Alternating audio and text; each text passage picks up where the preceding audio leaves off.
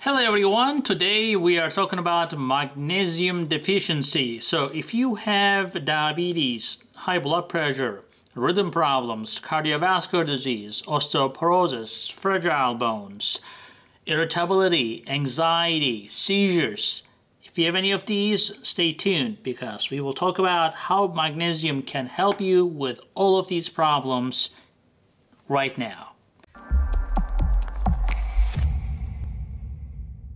Guys, I'm Dr. Ahmet Ergin. I'm an endocrinologist and a diabetes expert. Today we are talking about the importance of magnesium deficiency. So, the magnesium is involved in many processes, especially the muscle function, the nerve function, and in your insulin metabolism. People who drink alcohol, people who are on diuretics, which we call them water pills, or people who have chronic diarrhea may become magnesium deficient way quicker than the others. Now, what's interesting is although magnesium is commonly found in, in a lot of foods, like the dairy, the meat, the green leafy vegetables, the nuts, all the good stuff, well, as we all know, in American diet, we, these are not super common, and a lot of people are magnesium deficient. As a result, you know, most people end up having the side effects of magnesium deficiency, which is insulin resistance and diabetes, but also irritability, anxiety. Again, your muscles and your nerves affect or cause a lot of problems. For example, if your nerves are irritable, you are going to have like symptoms like twitching, you will be irritable, your muscles will cause fatigue and tiredness, even muscle twitching. Your digestion is not going to be good, your heart will be very excitable, so as a result you will have arrhythmia or rhythm problems, and the worst is seizures because if you're overly excited, uh, because of magnesium deficiency in your nerves, then it can even lead to seizures, especially if you have a tendency for it. Your endothelium, your, your blood vessels are lined with nerves and muscles, and if it is uh, not appropriately functioning, you will end up with high blood pressure. And as a result, cardiovascular disease as well. Now, the next question is how much magnesium do you really need, right? Well, the magnesium, of course, if you're having enough magnesium in your diet, that is great. If you do not, you're looking around 400 milligrams of magnesium. If you go up to 800 or more, you can, uh, but it's gonna give you the runs. You may end up with diarrhea. Now, if you are constipated, actually that may not be a bad idea to do so to take more magnesium.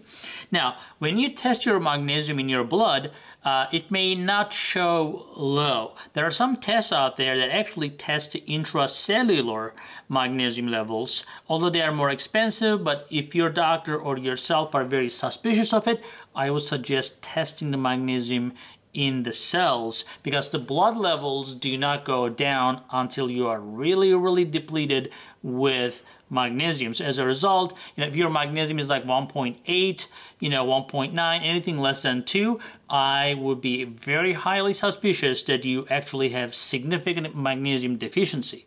And remember that if you have symptoms, sometimes, you know, you need to proactively go ahead and treat because unless you're over treating with magnesium, magnesium supplementation is not necessarily harmful unless you're having side effects such as diarrhea.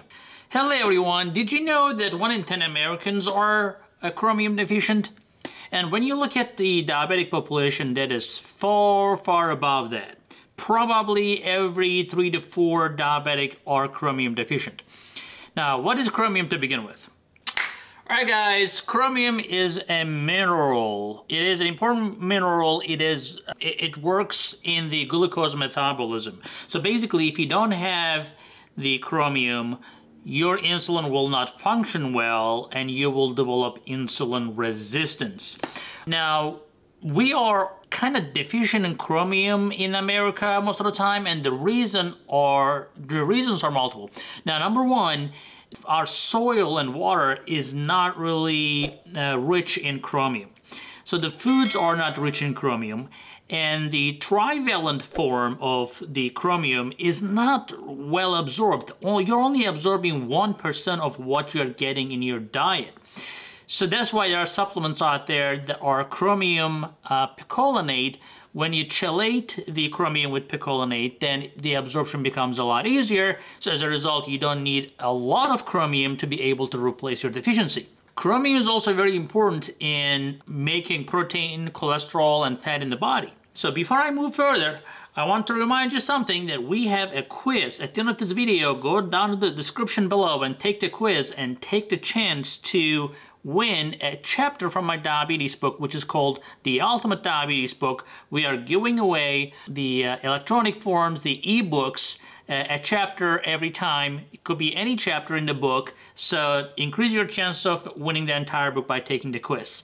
Let's move on. So, the chromium is extremely important, like we said, and you may not be able to get in the diet, but the, the, the diet that are rich in chromium is this. So the beef, the chicken, the turkey, the beans, the whole grains, uh, broccoli, eggs and green beans are rich in chromium, which you should be consuming anyways with diabetes. But like I said, sometimes you know absorption may not be may not be as good. The other problem is that when you are diabetic, you need a lot more chromium because of your needs. So, uh, and if you're eating a lot of carbs, which is another problem because the more chromium uh, is being lost, the more carbohydrate you're eating because you're basically trying to metabolize those, those carbohydrates. Like athletes who are, you know, working out a lot, they will need carbohydrates and they will need to metabolize those. So they definitely need more chromium. But if you're not an athlete, uh, you know, you shouldn't be eating too much carbohydrate because if you do, then you're going to be losing the chromium and you will end up uh, needing to replace it. So guys, I hope this video is helpful to you. Please remember to share, give a thumbs up, and remember to take the quiz uh, because this is the end of the video, and then you will have the chance to win a chapter from my diabetes book, the Ultimate Diabetes book. You can win any chapter, and remember to stay tuned for the next video. Hey guys, I hope you're enjoying this channel so far, and I hope you subscribed already. If you didn't, do it. And if you did, watch this video right there. I think that will help you too.